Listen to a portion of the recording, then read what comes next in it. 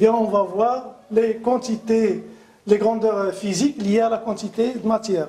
Parce que vous aurez, dans tout exercice que vous aurez, eh bien, on vous demandera sûrement de calculer la quantité, euh, la quantité de matière. Cette quantité de matière qui n'est pas directement accessible, hein, donc on la calcule de façon indirecte, eh bien, en passant par la masse, le volume, etc. Bon, commençons pour ne pas tarder, eh bien, commençons tout de suite. Bon, dans ces rappels, bien, d'abord, on va reprendre quelques mots à propos de l'atome. Vous savez que l'atome est constitué de particules élémentaires. Ces particules élémentaires, donc vous avez ces, particules élémentaires sont bien sûr les euh, neutrons, protons et électrons.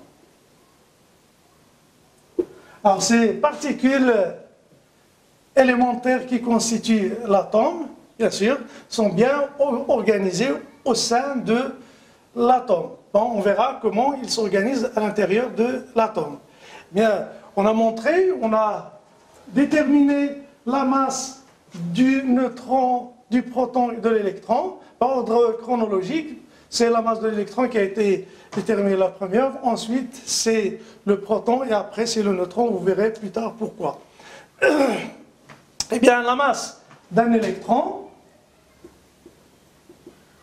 c'est 1,1 10 puissance moins 31 kg. Et l'électron, qui porte une charge, l'électron qu'on représente par un moins, a une charge qui est négative, qui est de 1,610 moins 19 coulombs. Donc euh, un électron de masse 9,110 moins 31, de charge moins 1,610 moins 19.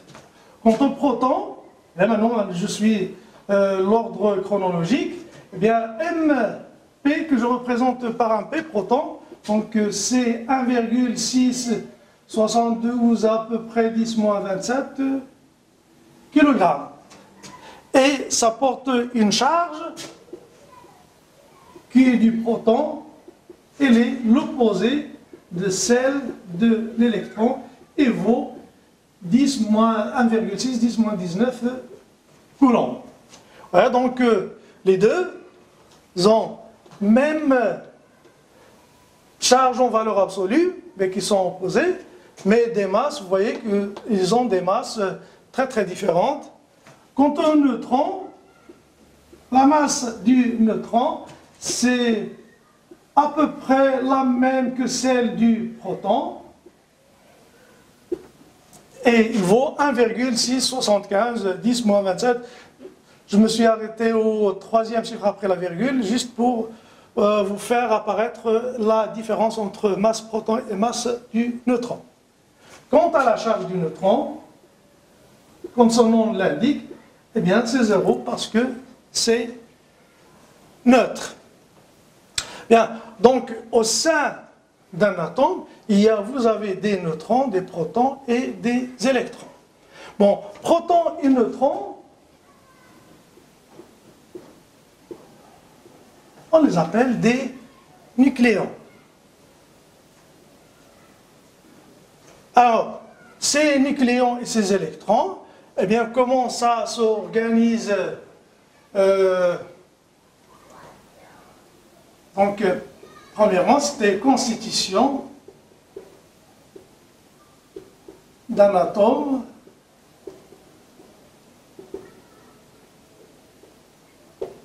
de, eh bien, on va voir quelques, on a maintenant on sait de quoi est-ce qu'il est constitué, on peut espérer calculer la masse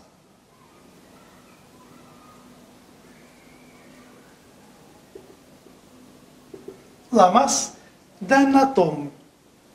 Eh bien, la masse d'un atome, vous verrez que M d'un atome, eh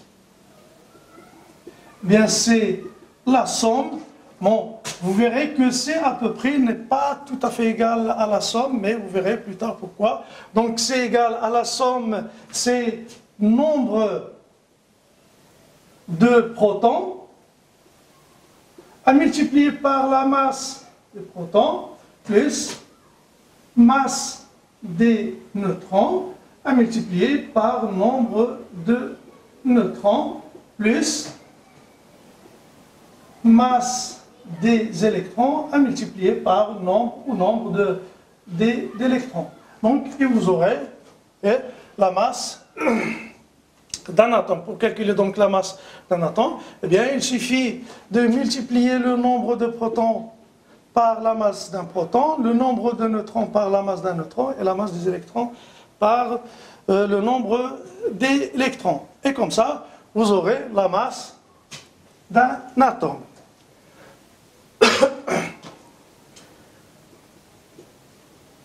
On va voir euh,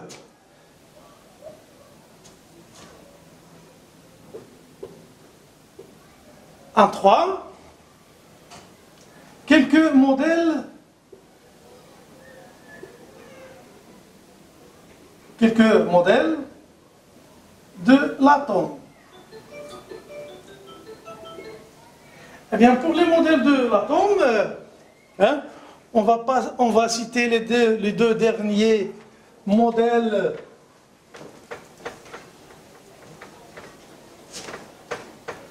qu'on utilise actuellement.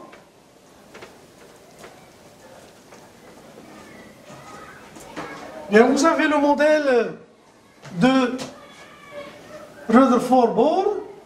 Ce modèle de Rutherford-Bohr, dans ce modèle, eh bien, on a montré que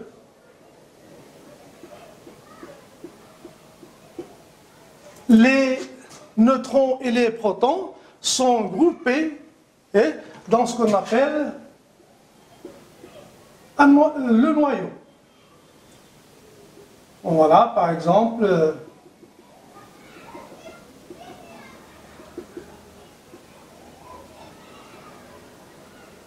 ça c'est un proton, et par exemple ça c'est le neutron. Donc ça c'est le noyau. Alors, autour du noyau, dans le modèle planétaire de Rutherford, Bohr, eh bien, les électrons sont animés de mouvements autour de l'atome. Ils sont en mouvement autour de l'atome. Donc, un électron hein, parcourt une certaine, ce que je, qualifierais, qu'on qualifie, si d'orbite. Alors, cette orbite, dans laquelle se trouve un électron. Mais il s'est avéré que ce modèle ne rend pas compte de plusieurs euh, phénomènes observés avec euh, l'atome. Et le modèle, parce que on ne peut pas déterminer la trajectoire exacte, la vitesse, la position, etc. d'un électron à un instant donné. Alors ce modèle a été remplacé hein, par le modèle actuel, donc euh, modèle actuel, eh bien, toujours, vous avez le noyau. Alors, autour de ce noyau, tout ce qu'on sait faire maintenant, c'est calculer la probabilité de présence d'un électron dans cet espace entourant. Hein. Alors là, c'est on parle donc l'électron, il est dans cette région de l'espace, mais plus exactement où, on n'en sait rien. Tout ce qu'on sait, c'est on sait que dans ce volume, dans cette portion de l'espace, on peut définir ce qu'on appelle la densité de probabilité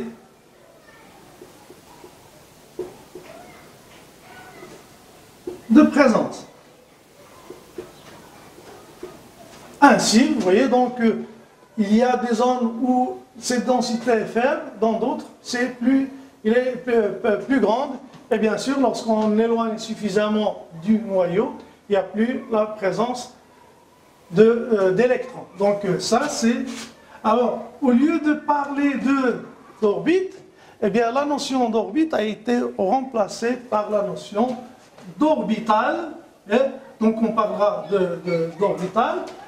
Et cette région-là, l'ensemble des, électrons qui, tournent, qui gravitent autour du noyau, eh bien, constitue ce qu'on appelle le nuage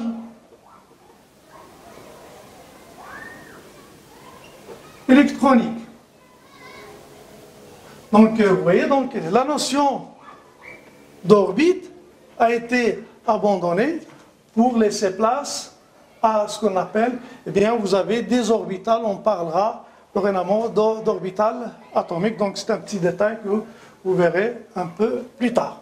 Donc ça, c'est le modèle actuel, ça c'est le modèle de Rutherford-Bohr. Les deux derniers, j'ai pas cité le, le, modèle de Thomson et d'autres. Donc, le modèle actuel, le modèle juste avant, donc, voilà, donc comment sont, euh, sont organisés les constituants élémentaires d'un atome au sein de cet atome.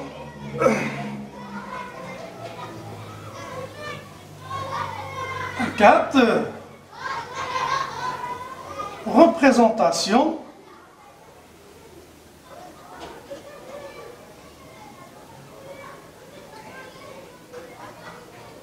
d'un atome.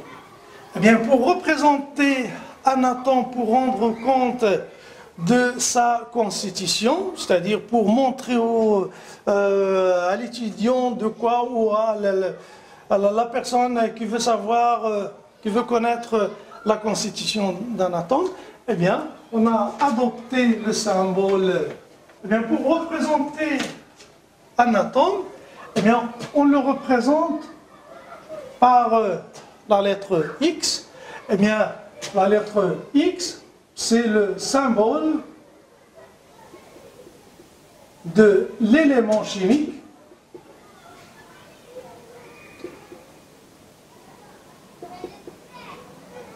auquel appartient, c'est le symbole de l'élément chimique auquel appartient cet atome. En haut, là, et à gauche, on met une lettre A, U en bas, vous avez une lettre Z. Qu'est-ce que ça veut dire, ça? Eh bien, la lettre A, eh bien, c'est le nombre, ça représente le nombre des nucléons. C'est-à-dire, c'est le nombre de protons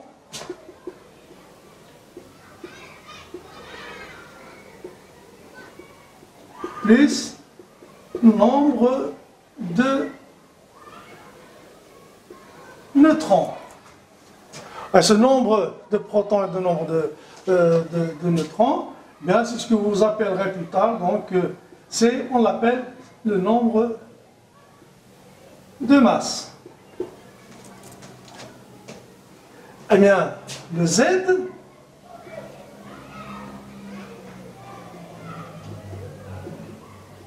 Eh ça représente le nombre de protons. Alors donc j'ai le nombre de nucléons qui est là.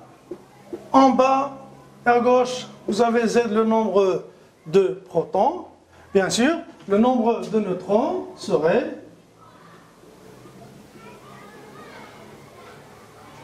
Si l'on veut connaître le nombre de neutrons, bien sûr, ça va être CA moins Z. Alors, reste maintenant, quel est le nombre Le nombre d'électrons?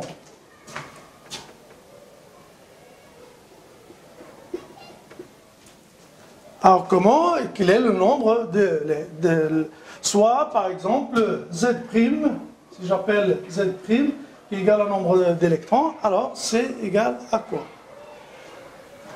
Euh, Nous savons que l'atome est neutre. L'atome est neutre. Donc, ça veut dire qu'il est l'atome est électriquement neutre, si vous voulez, électriquement neutre.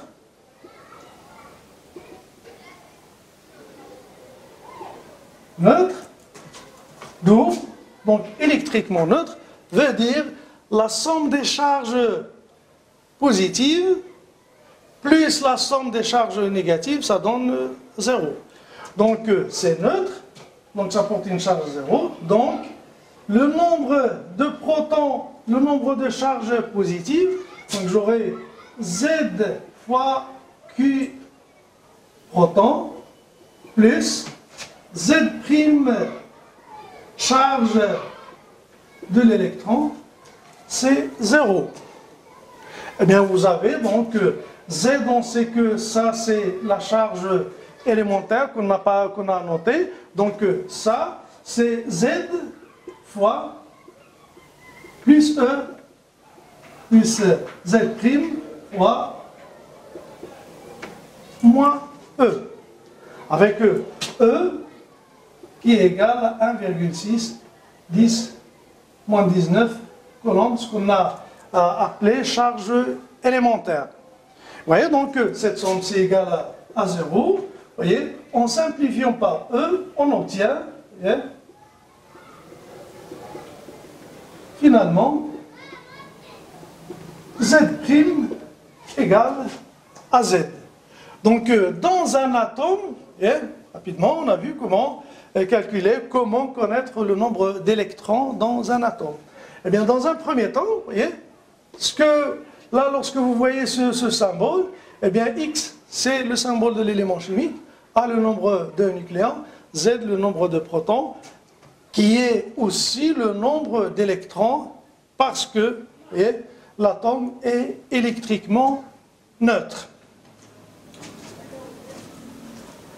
En cinquième rang, donc on est à la cinquième rang, euh, donc euh, la masse. On va, on va voir par exemple de calcul.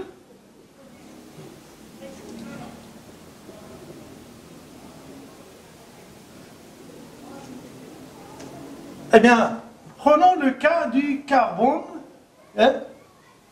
12. Eh bien, le carbone 12, eh bien, cet atome, un atome de carbone C12, eh bien, dans cet atome, vous avez 6 protons, 6 électrons, et vous avez 12 moins 6, c'est-à-dire 6 neutrons. Donc euh, cette écriture me permet de savoir qu'un atome de carbone C612 contient 6 protons, 6 électrons et 6 neutrons. Maintenant, si je veux avoir masse, la masse, un atome de un atome de C612. Donc, je vais faire une application numérique. Eh bien, c'est 6 fois la masse du proton plus 6 fois la masse du neutron plus 6 fois la masse de l'électron. Alors, application numérique, vous avez, donc je rappelle, donc c'est 6 fois 1, euh, donc euh, 67, 2, plus 6 multiplié par 1, 67, 5, 10 moins 27, 10 moins 27, plus 6 fois 9,1, 10 moins 31, eh bien c'est des kilogrammes. Bien, tout calcul fait, eh bien, vous obtenez quelque chose de l'ordre de 2, euh, hein, vous obtenez quelque chose de l'ordre de... Donc la masse d'un atome, tout calcul fait, eh bien, vous obtenez la masse d'un atome de C12, 6, c'est à peu près 2, 10 moins 26 kg. Alors c'est 2 10 moins 26 kg, vous voyez que c'est une valeur qui est très très faible. Mais c'est ce qu'on va voir par la suite. Donc 10 moins 26, donc c'est difficile à peser un, atome avec les, les, moyens ordinaires dont on dispose. Eh bien, vous verrez comment est-ce qu'on va procéder. Pourquoi Bien qu'on l'a dit au début, eh bien la quantité de matière, lorsqu'on écrit une équation chimique, d'une réaction chimique, modélisant une transformation chimique, eh bien, tout le travail s'effectue à l'aide de la quantité de matière. Alors que cette quantité de matière n'est pas directement mesurable. C'est-à-dire qu'on ne peut pas la mesurer directement. Eh bien, on peut accéder à la quantité de matière voyez, par des mesures. Donc, euh, l'atome de carbone, un atome de carbone qui pèse, qui a une masse de, de 10 26, vous voyez, c'est difficile à mesurer et à peser. Bien, prenons un échantillon de carbone. Ça, c'est du carbone C612 de masse M0 égale à 12 grammes. Bien, essayons de déterminer le nombre N0, nombre d'atomes dans l'échantillon. Hein, quel est le nombre d'atomes contenus dans cet échantillon de 12 grammes? Eh bien, pour ce faire, maintenant, vous savez le faire, alors qu'est-ce que vous proposez? Bien sûr, le nombre N0, pour calculer ce nombre N0, nombre d'atomes contenus dans cet échantillon, eh bien, vous n'avez qu'à diviser la masse de l'échantillon sur celle d'un atome C6, 12. Donc dans 12 grammes, je vais voir quel est le nombre d'atomes. Alors là, application directe, eh bien application numérique, le N0, 12 grammes, c'est 12, 10 moins 3 kg. Un atome, on vient de le voir tout à l'heure, on va calculer sa valeur, c'est 2,10 euh, moins 26. Donc, ça va nous faire kilogramme. Un atome, c'est 2,10 moins 26 kg. J'ai une masse de 12, 10 moins 3 euh, kg. Donc, voilà, exactement comme si vous aviez un sac plein de billes pour les compter, eh bien, il suffira par exemple de prendre une bille, mesurer sa masse et de diviser la masse du sac et sur la masse d'une bille, vous aurez le nombre de billes. Eh bien, qu'est-ce qu'on obtient? 1, 0, moins un calcul simple, moins 3 moins 26, 10 puissance 23, 12 sur 2, donc ça fait 6. 10 puissance 23. Alors dans 12 grammes, il y a ce nombre. Eh bien ce nombre, écrit sous cette forme, ne suscite pas beaucoup d'exclamations, mais si je l'écris de cette manière, 6 10 puissance 23, eh bien c'est 6, voilà. Vous voyez donc ce chiffre, bon voilà, donc 1, 2, 3, 4, 5, 6, 7, 21, et puis 2, 10. Vous voyez donc c'est des milliards de milliards. C'est colossal, c'est gigantesque. Donc, euh, ce, nombre-là, vous voyez, eh bien, vous voyez, dans 12 grammes, vous avez tout ça. Alors, on ne va pas s'amuser à chaque fois de calculer, on ne va pas s'amuser à chaque fois de déterminer ce nombre-là, euh, qui est très très grand, donc euh, euh, pratiquement, ça n'a pas une grande importance. Alors que, on verra, il y a des choses qui sont plus intéressantes. Alors, on est convenu, bien, rappelez, eh bien, chaque fois qu'on a ce chiffre-là, eh bien, on dit qu'on a une mole de cette espèce.